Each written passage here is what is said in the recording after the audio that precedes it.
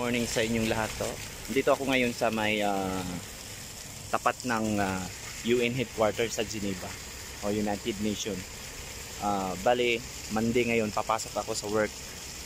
Ah, gusto ko i-share sa inyo yung ah, ruta ko papunta dun sa work ko galing dito sa Geneva. It takes ah, 35 minutes ah, with my with my bike. So ito, dito natin sisimulan yung vlog sa tapat ng ah, United Nations sa may broken chair. Yun, yung broken chair. So yan, samahan niyo ako. Sana mag-enjoy kayo sa ah, pagbabike natin ngayon. Itutur ko kayo sa ah, from Geneva to Tani kung saan yung work. Okay, yan guys. Sige. Sa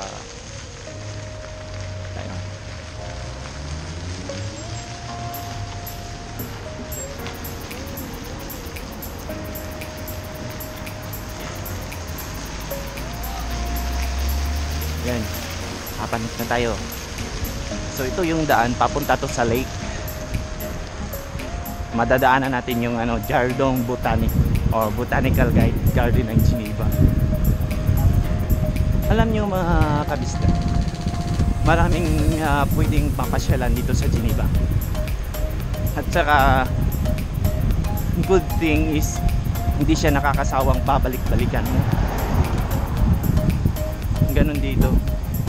Parang ah, kada balik mo may may bago. Parang ganon ba yung feeling mo? So dati, pag pumupunta ako ng work ko, sumasakay ako ng train. Dito dumadaan yung train. Oh. Ayan, yung Geneve, Geneve, Ciceron. Ito, dumadaan yung train. Papunta ko dati sa work. Simula nung nagka-pandemic, yung dumating na itong si COVID, hindi na kami pinalabas nung ah, tinitira namin kasi nga takot sila kasi may mga bata. Hindi na rin ako pumupunta sa work. So yun, natigil. Hindi na rin ako sumasakay ng train hanggat na hanggang sa bumili na kami ng bike. Yan. Kumbaga, nagbabike na lang ako papunta sa work.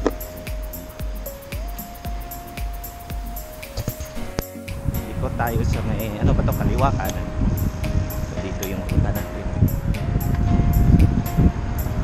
Huwag kayong mag-alala, safe dito magbike oh. Tingnan nyo, ano, naka, ano ako sa may, nakarampa ako dito sa may bike lane. Tsaka yung papuntang Geneva naman, dun naman sa kabila, may bike lane din dun. Kaya, ayos na ayos magbike talaga dito sa Switzerland. Kahit saan ako na Switzerland, kahit sa ibang syudad dito, may mga ganito talaga.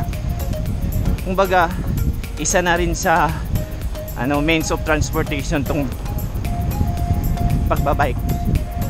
kasi nga iwas sa traffic.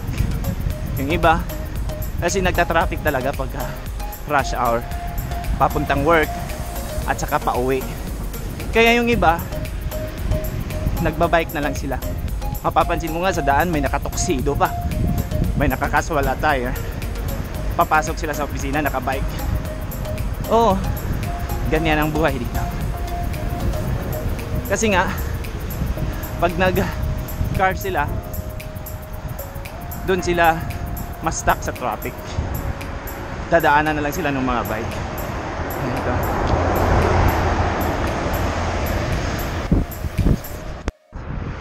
Ito yung lugar sa Geneva na kung saan andito lahat yung mga ah, embassy ng bawat bansa. Itong nadaanan natin ito ay sa Turkish embassy. Tapos doon naman sa dulo, may bandaanan tayong ano, Egypt, Egyptian embassy.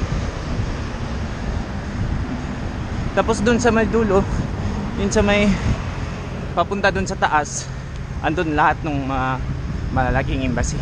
Kagaya ng US, andun din yung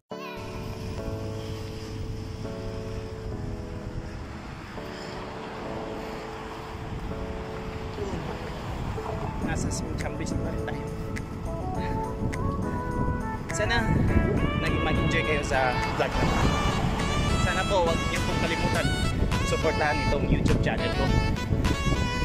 Gusto niyo magpunta ng Switzerland kaso wala pang budget. Dadalhin ko ang Switzerland dyan sa cellphone nyo.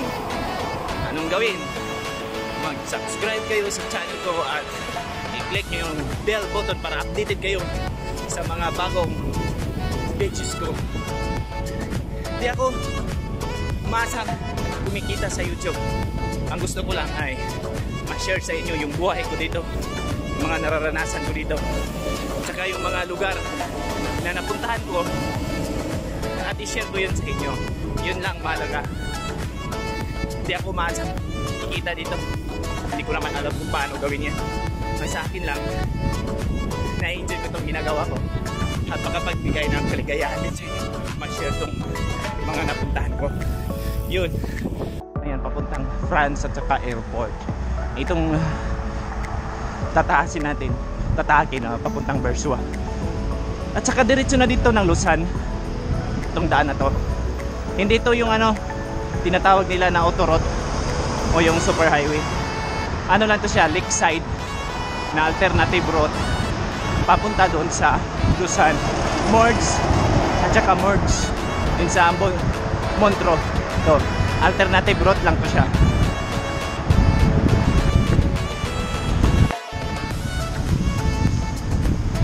So ito yung Leto Lere. Kasunod ng Shambisi. Marami dito ano mga beach beaches no, sa may lakeside. Madami dito ano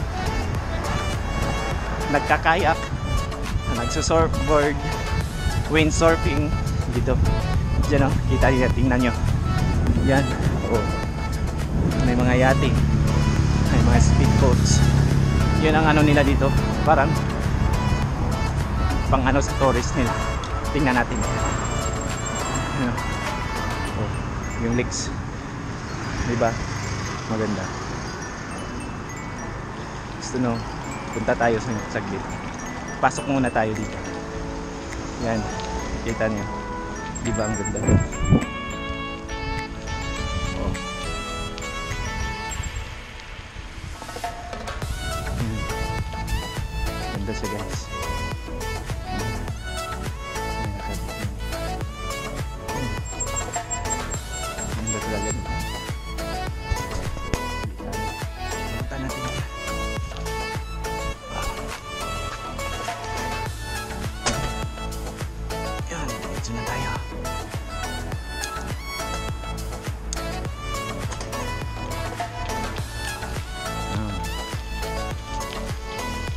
Biglang nag, ano, jeans. Jeans gear itong ano ko. Itong bike ko. Ah, diretso na tayo dun sa ano. We're back on our track. Yun.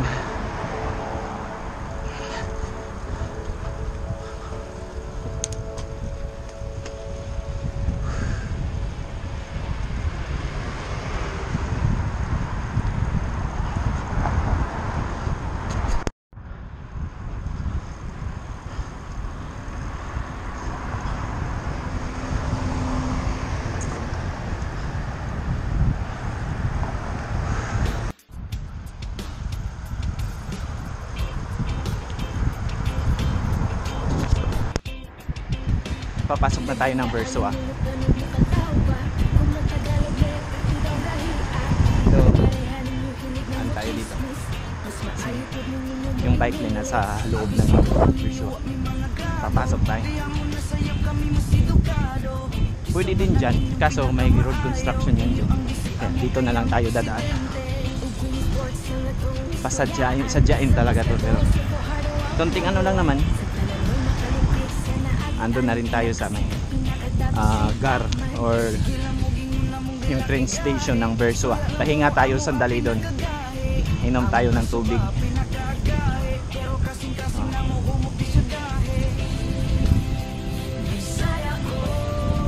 Ito dumadaan yung mga nagbabike papuntang Luzon. No, kita niyo yung mga signboard.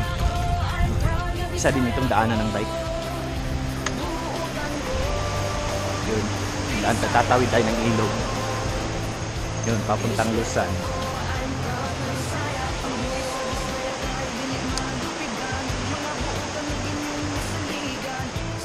Tsaka dito, share ko lang din sa mga ibang Pilipino na andito sa Geneva na gusto sanang magbike kaya, kaya kaso takot lang. Hindi nakakatakot magbike dito sa ano sa Geneva. Basta nasa tamang ano ka lang daanan talaga. Huwag ka dumaan sa mga hindi daanan ng bike. Tsaka yung sa mga traffic, regu- traffic regulation you have to obey the traffic lights. Yun. Yun lang. Tapos, kailangan helmet ka. Protective gear. Yun ang importante. Kasi sisitahin ka ng pulis pag nagbabike ka. Wala kang helmet. Yun. Pwede na yung mga additional na yung mga paddings, tuhod. Idagdag ano lang yun sa gaban. Tapos dahan-dahan lang. Yun, napaka-safe talaga dito magbike. Tsaka kaya nito, wala siyang bike lane. Pero, dinadaanan dito yung ang gagawin niyo lang ay dito kayo. Dumaan sa gilid. Huwag sa gilid. Kasi bisituhan ka bubusinahan ka ng mga sasakyan. Kaya sa gilid ka lang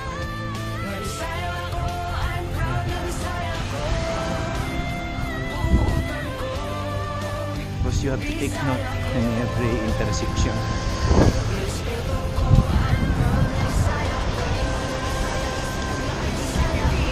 dito na tayo sa ano sa Bersua. Pahinga tayo dito sa iinom lang tayo ng tubig. Sa Bersua na ako. Pahinga sa dali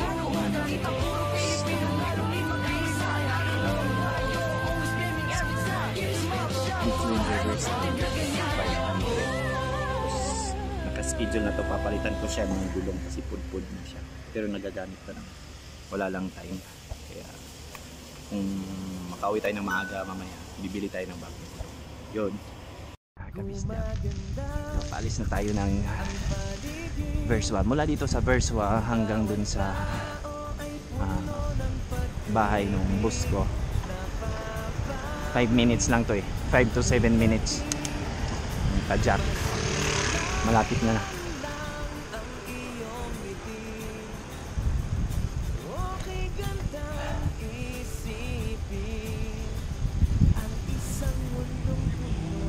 buti na lang walang init ngayon no?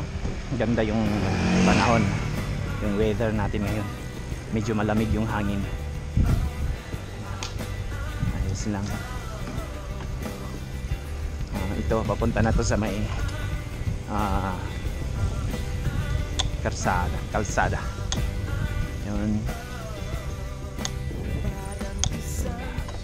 Ongoing pa rin yung construction. Tsaka dito sa Switzerland palagi nilang ah, grabe yung maintenance ng roadworks nila. Kaunting ano lang ano sa kalsada inaayos kaagad. Kaya daming mga construction na nagago.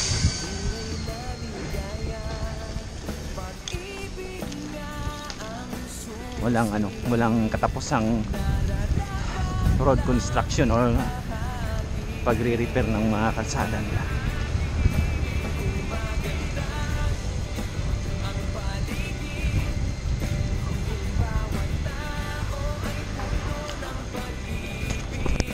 Saka ito ni. Ayan yung ano, libreng tubig. Yun, naiinom yan.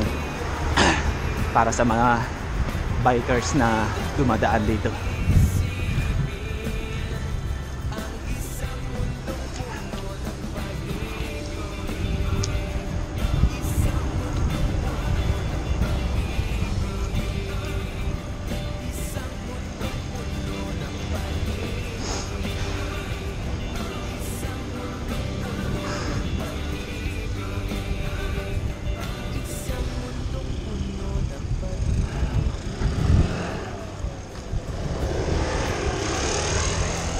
Yun, nagwawalis ng sidewalk pero hindi walis yung dala no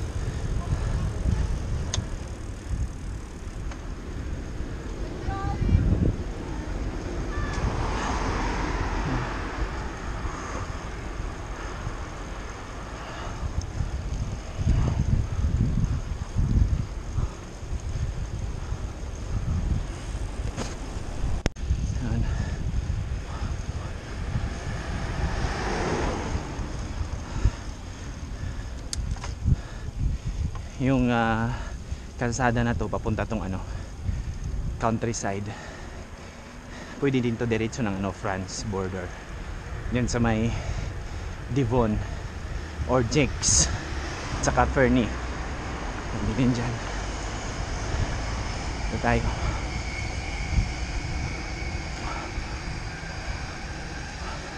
Kunting padyak na lang mga kabisdak. Andun na tayo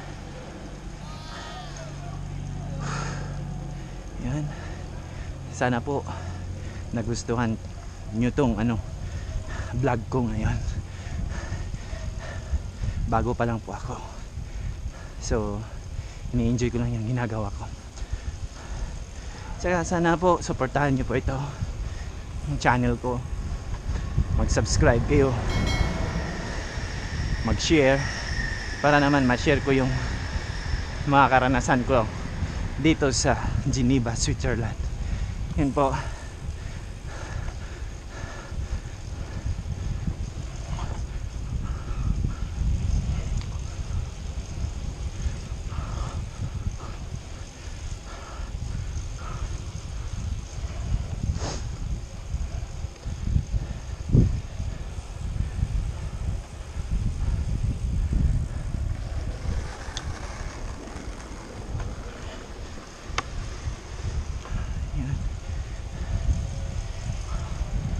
Malapit na malapit na talaga tayo. Dito ko pinapasyal yung mga aso na inaalagaan ko. Sa mga nagtatanong nga pala kung ano ang work ko dito sa Switzerland. Ito may nag-caretaker ako ng isang bahay ng isang Turkish family at saka nag-dog sitting ako sa kanilang mga aso. Kaya araw-araw ako pumapasok dito dahil dun sa mga aso. Huwag niyo na itanong yung ah, sahod. Basta, malaking tulong na din po para sa mga pamilya kong nasa Pilipinas. Yun. Simple lang. Isa akong guro dyan sa Pilipinas sa DepEd. Tapos ngayon, isa na akong dog sitter at saka caretaker ng bahay pero kumikita ako ng halos limang bisis sa sahod ko doon sa Pilipinas. Yon ang mahalaga. Saka nag enjoy pa. Maraming salamat po. At yung sa dulo na yan yun ang bahay ng boss ko. Hanggang dito na lang tayo kasi hindi natin pwede i-video yung bahay niya kasi bawal. Yun lang. Pakita ko sa inyo tayo sa bahay ng boss ko. Ah, dito ko na yung tatapusin yung vlog tsaka salamat sa pagtyagang manood sa vlog ko. So dito na ako nakarating na ako. Dito ko na lang tatapusin kasi bawal dun sa loob mag ah, kuha ng video. Kasi may surveillance cam din si sir. Iwas iwas na lang tayo. Yun mga kabisdak salamat. Kung bago ka pa lang sa channel ko mag subscribe ka na Maraming salamat po. Remember when I told you no matter where I go I'll never leave your side, you will never be alone. Even when we go through changes, even when we're old Remember